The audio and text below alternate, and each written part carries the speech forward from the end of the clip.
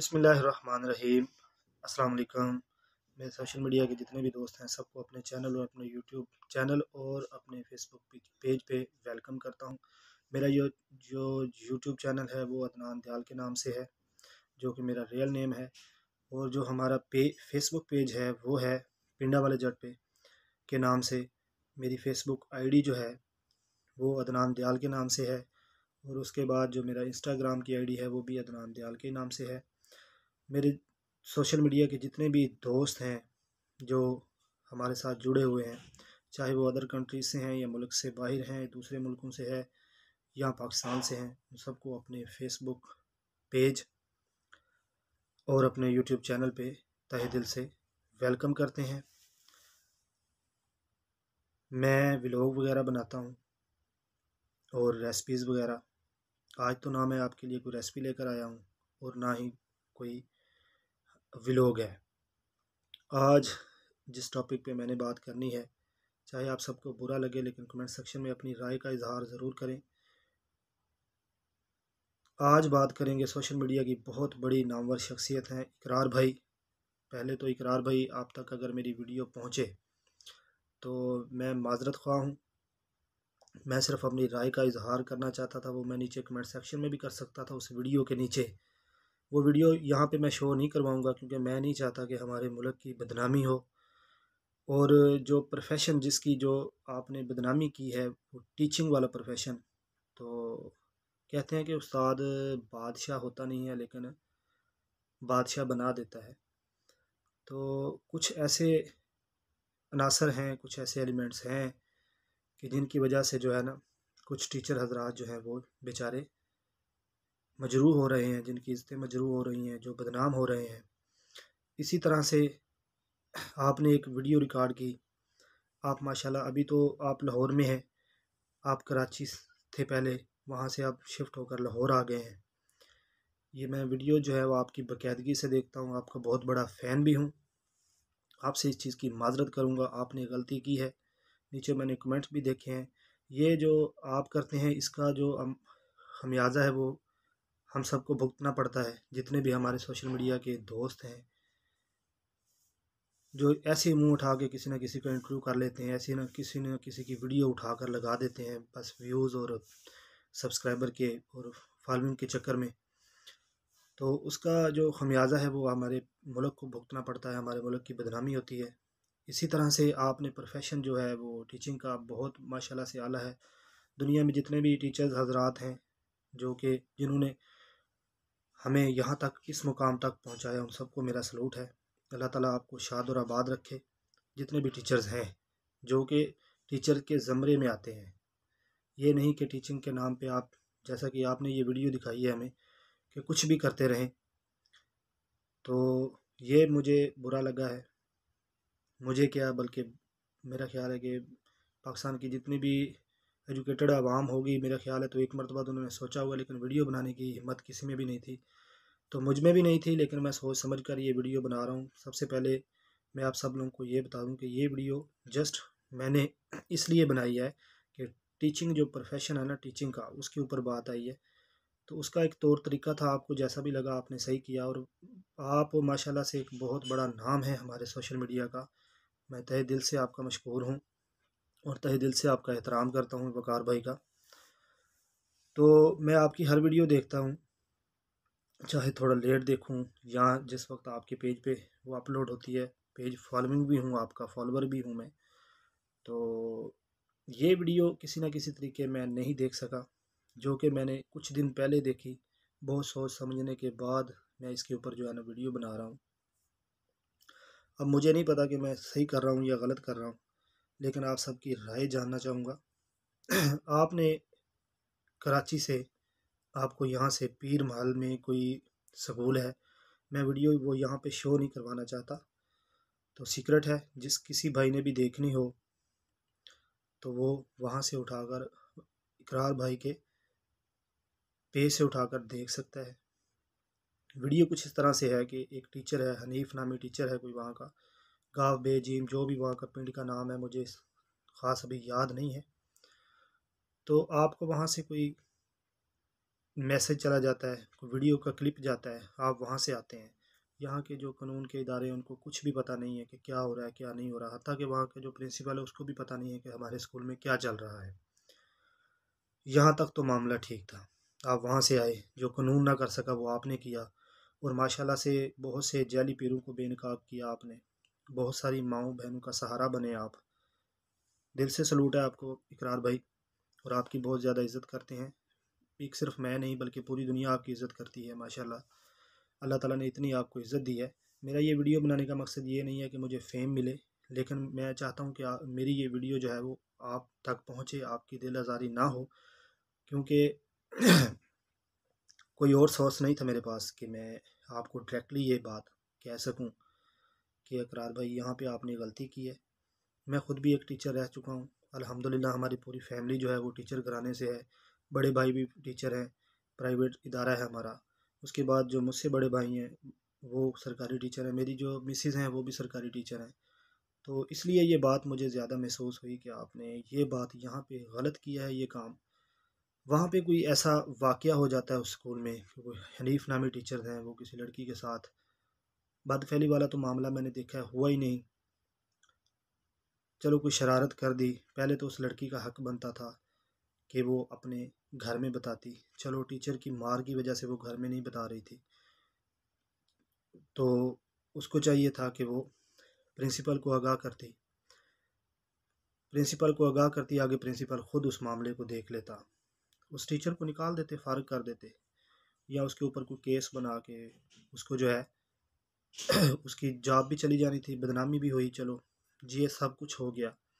लेकिन आप कैमरे लेकर जनाब चले जाते हैं वहाँ पे। उससे पहले मैंने, जब मैं सऊदी अरब में था, मैंने आपकी एक वीडियो देखी, वो एक जली पीर बाबा था। वो ऐसे ही जनाब औरतों को गले लगा लेता था। वो जो मर्द हजरात थे, जो, जिनको यानी कि बच्चा वगैरह नहीं हो रहा, एक तो हमारे मुल्क में ये सबसे पीरी फ़कीरी वाला काम जो है, वो माशाल्लाह रोज पे है, ये ख़त्म नहीं होना। और हम पढ़ी लिखी जाहिल आवाम है कि अपनी माओ बहनों को जो है हम पीरों के पास भेज देते हैं। चलें भाई, पीर अंदर जो मर्ज़ी करता रहे, हमें इससे कोई फ़र्क नहीं है। हम पीरों के पैर धो धो कर धो धो कर पीते हैं। ये पता नहीं होता कि ये इस पीर के पास कोई इलम भी है कि नहीं। और वो वीडियो मैंने देखी थी आपको, सलूट है एक मरतबा फिर। आपने एक्सपोज़ किया उस पीर को। वो पीर बाद में काम भी छोड़ गया, वो बूढ़ा। सत्तर अस्सी साल से भी अब मतलब मेरा ख्याल है कि सौ साल के करीब उसकी उम्र थी।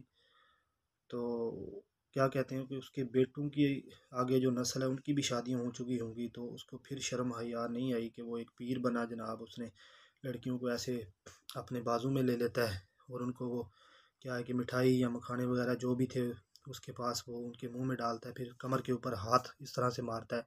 और वो वीडियो मैंने देखी, बहुत मरतबा देखी, वहाँ पे माशाल्लाह से जो मेरी माएँ, बहनें, बेटियाँ वहाँ पे जाती हैं, जो उनको साथ लेकर जाते थे जनाब वो बैठे हुए सामने देख रहे हैं तमाशा। किसी में इतनी गैरत नहीं थी। यार, हम दीन इस्लाम से कितना दूर हो गए हैं। हमारा अकीदा ही नहीं है मुसलमानों वाला। हमसे तो बेहतर वो क्या, यहूदी ईसाई हैं? चलो, वो खुदा को नहीं मानते, लेकिन जिस चीज़ को मानते हैं, उसके ऊपर विश्वास करते हैं, यकीन करते हैं। आज अब इसके ऊपर भी आप लोग कहेंगे कि, अदनान भाई, आपने वाहियात से जुमले बोलने शुरू कर दिए। मैं नहीं चाहता था कि इस तरह से हो। चलो, ये टॉपिक एक साइड पे रखते हैं। इसलिए आपको सलूट करते हैं कि जनाब आपने जो हमारे मुल्क का कानून नहीं कर सका, वो आपने किया। लेकिन ये आपने गलत किया कि आप स्कूल के अंदर जनाब इस तरह से कैमरे लेकर चले गए। इसके साथ जो जितने भी दुनिया में टीचर्स हैं, उनके ऊपर भी बात आ सकती है। जो बातमादी थी वालदेन के अंदर कि हाँ भाई टीचर्स जो हैं, वो हमारे बच्चों का ख्याल रखते हैं। उस्ताद, आपका रूहानी बाप है। वो हनीफ साहब, वो दरिंदा सिफ्त शख्स जिसने इस तरह की हरकत की नहीं करनी चाहिए किसी भी टीचर्स को, क्योंकि उस्ताद एक रूहानी बाप है। वालदेन अपने बच्चों को इसलिए आपके इदारे में भेजते हैं या इसलिए आपके पास भेजते हैं कि आप उनको तरबियत दें। फिर वही बात आ जाती है कि उस्ताद बादशाह होता नहीं है, लेकिन बादशाह बना देता है। इकरार भाई, यहाँ पे आपको करना चाहिए था। ये मेरी रिक्वेस्ट है आपसे तनबी नहीं है आपके ऊपर। ये रिक्वेस्ट थी। जो होना था वो हो चुका। आइंदा अगर इस तरह का कोई मामला हो तो आप उसको किस तरह से निपटा सकते हैं? मैं बिल्कुल भी एक्सपेक्ट नहीं कर सकता कि आइंदा इस तरह का कोई मामला होगा, क्योंकि वीडियो बहुत वायरल हुई, बहुत मिलियन बिलियंस उस पर व्यूज़ हैं। बहुत आवाम ने देखा। अगर कोई टीचर ऐसा होगा भी दरिंदा शख्स तो वो हज़ार बार सोचेगा, क्योंकि कैमरे की आँख आपको देख रही है। दुनिया में सबसे बड़ा कैमरा जो है वो अल्लाह ताला का है, जो हर वक्त हमें देख रहा है। तो अगर इंसान समझ, बोझ वाला हो तो इस तरह की हरकत करेगा ही नहीं। चलो उस टीचर ने कर भी लिया। आपको नहीं चाहिए था कि क्लास में बच्चों के सामने इस तरह से उसके साथ रिएक्ट करते। आपके पास एक बकायदा सबूत था, आपका हक बनता था। आप वहाँ के एसपी या डीएसपी जो भी था, उसको साथ लेते। जितने भी अफसरान बाला कानून वाले हैं, उनको आप साथ लेते वीडियो दिखाते। आप वहाँ पे जाते, लेकिन वहाँ पे कैमरा ऑन नहीं करते। ये जो आपने कैमरा ऑन किया, ये गलत किया। अब मुझे लग रहा है कि ये आपने गलत किया। पता नहीं है कि बीस करोड़ आवाम जो है वो क्या सोचेगी, आपने गलत किया या नहीं किया। मैं आपका बहुत बड़ा फ़ैन हूँ। एक मरतबा फिर आपसे माजरत करता हूँ। और यही कहना चाहूँगा कि कोई मेरे पास और सोर्स नहीं था आपसे बात करने का, वरना मैं आपको डायरेक्टली कह सकता था कि इकरार भाई, ये आपने यहाँ पे गलत किया। जो जो मुझे गलत लग रहा है, जितने भी मेरे जिनका भी मैं फ़ैन हूँ, मैं उनके बारे में वीडियो ज़रूर बनाऊँगा।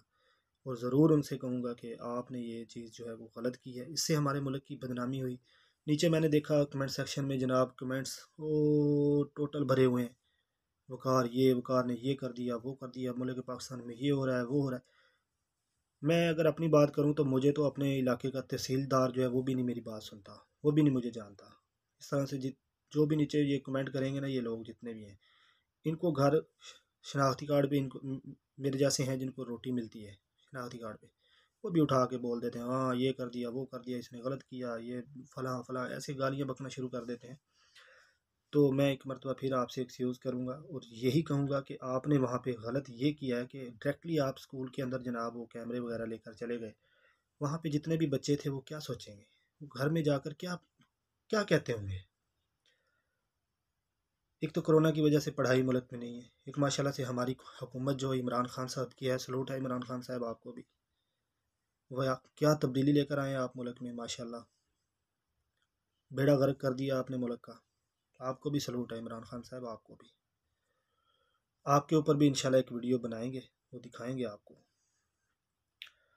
चलो ये तो अफसरान बाला हैं, वो जाने, मैं अपनी तरफ़ से कह रहा हूँ, अपनी ज़ात को। M P M N A हमें क्या जानते हैं जनाब? हमारे, हमारा जो तहसीलदार है, मिंबर कह ले, वो भी हमारी बात नहीं सुनता। हमने जो करना है, अपने बलबोते पे करना है। डर सिर्फ़ अल्लाह ताला की ज़ात का होना चाहिए। ज़िंदगी और मौत उसी के हाथ में है। सर झुकाओ, उसी के आगे झुकाओ अकीदा यही होना चाहिए। ये मुसलमान होने की निशानी है। तो आपने गलत किया वहाँ पे आप कैमरा लेकर गए बच्चों के सामने जिस क्लास में वो पढ़ा रहा था। चलो आप चले गए कै, बिना कैमरे के जाते उसको आप पुलिस स्टेशन लेके जाते जैसे कि पुलिस के एहलकार आपके साथ थे डीएसपी एसएचओ जो भी था वो आपके साथ था। वहाँ लेकर जाते वहाँ जो लड़की थी उसको बुला लेते जो बच्ची जिसके साथ ये हुआ है वो भी क्लिप आपने चला दिया। ये ये भी आपने गलती की चलो आप ऐसा करते प्रिंसिपल को बुला लेते उसके बाद वो पुलिस जो एहलकार है अभी लफ्ज़ जो है वो मेरे मुँह से निकल नहीं रहे। ज़ुबान मेरे लफ्ज़ों का साथ नहीं दे रही। किस तरह से बोलूँ कि आपने क्या गलत किया? इस तरह की अगर वीडियोस वायरल होंगी तो यार इससे लगता है कि हम मुसलमान हैं। मुझे तो नहीं लगता कि इससे लग रहा हो कि हम मुसलमान हैं, हम पाकिस्तान में रहते हैं।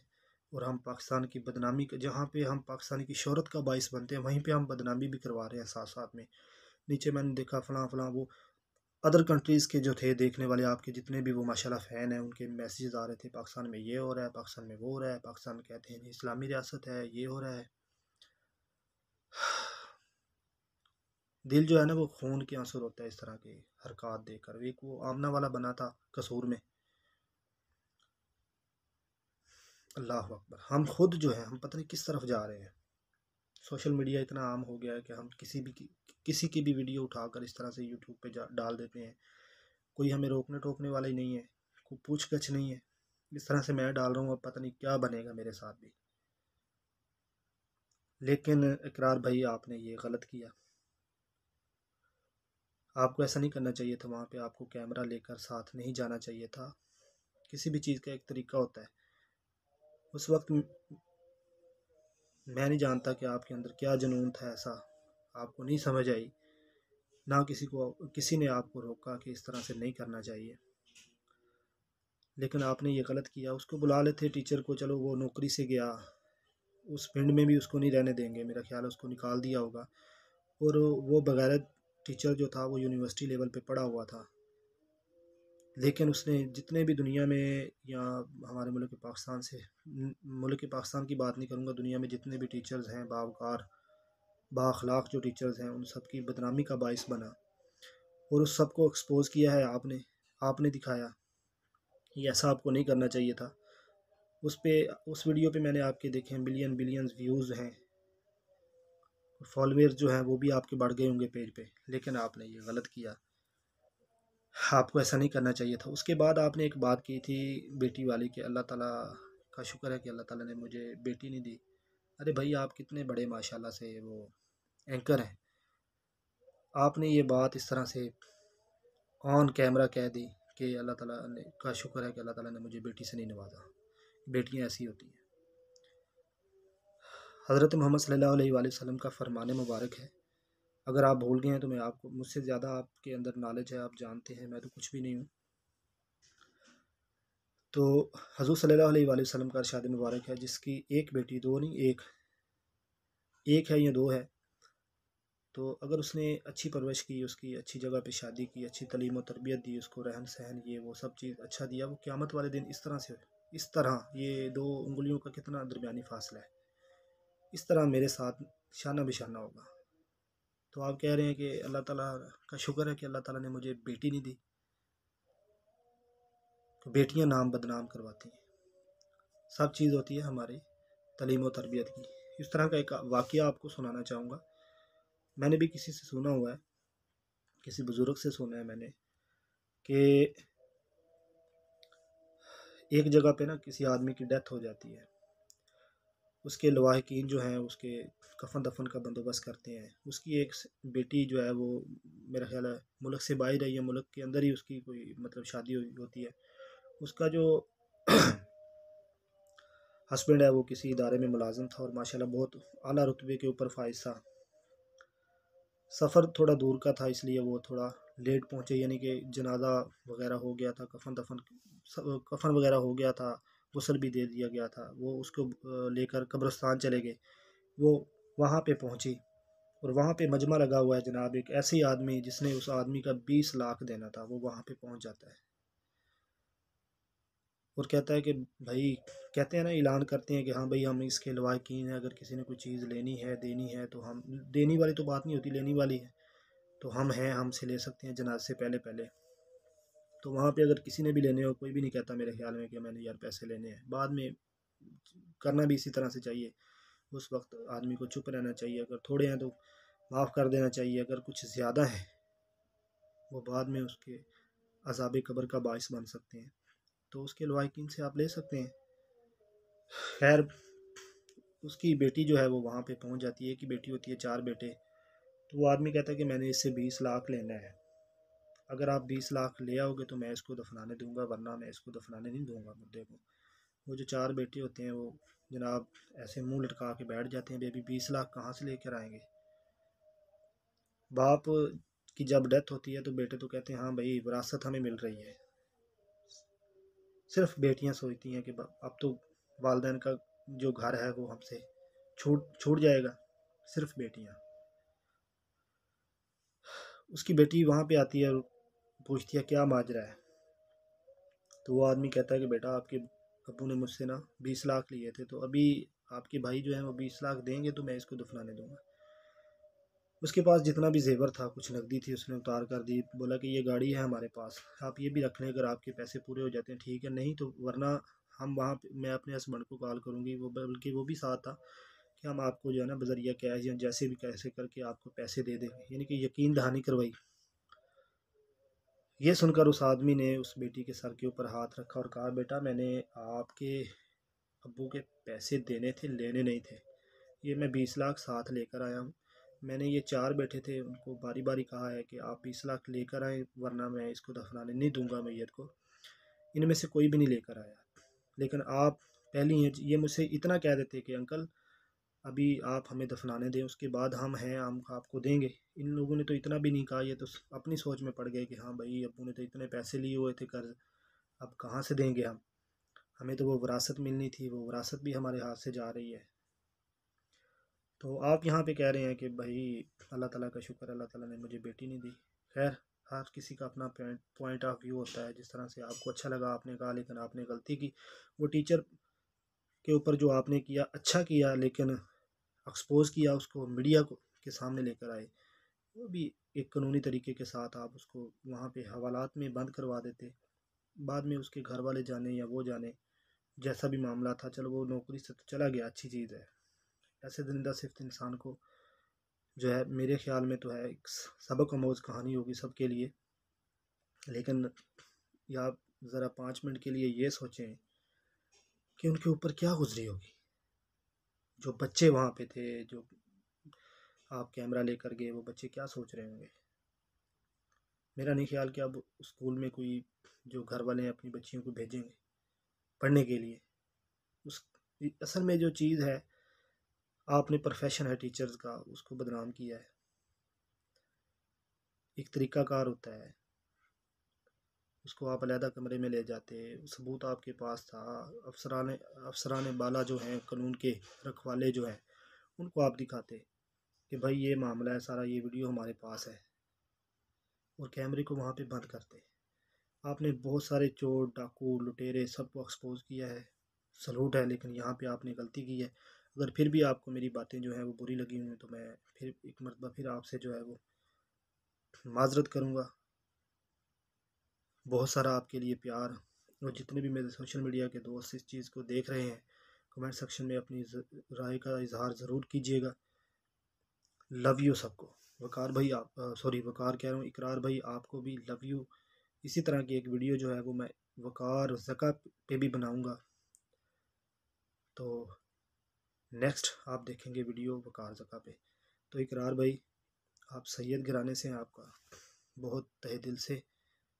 जो है हम एहतराम करते हैं। लव यू दिल से, लेकिन यहाँ पे आपने गलती की है। ज़रा सोचिएगा। तो इन फिर मिलेंगे नेक्स्ट वीडियो में। तब तक के लिए अपने भाई अदनान दयाल को दीजिए इजाज़त। बहुत सारा प्यार दुआओं में याद रखिएगा। जब भी दुआ के लिए हाथ उठाएँ, इस ना चीज़ को ज़रूर याद कीजिएगा। और अपना बहुत सारा ख्याल रखिए और आपके लिए ढेरों दुआएँ हैं। ढेरों सारा प्यार है। Love you all of you अल्लाह हाफिज़।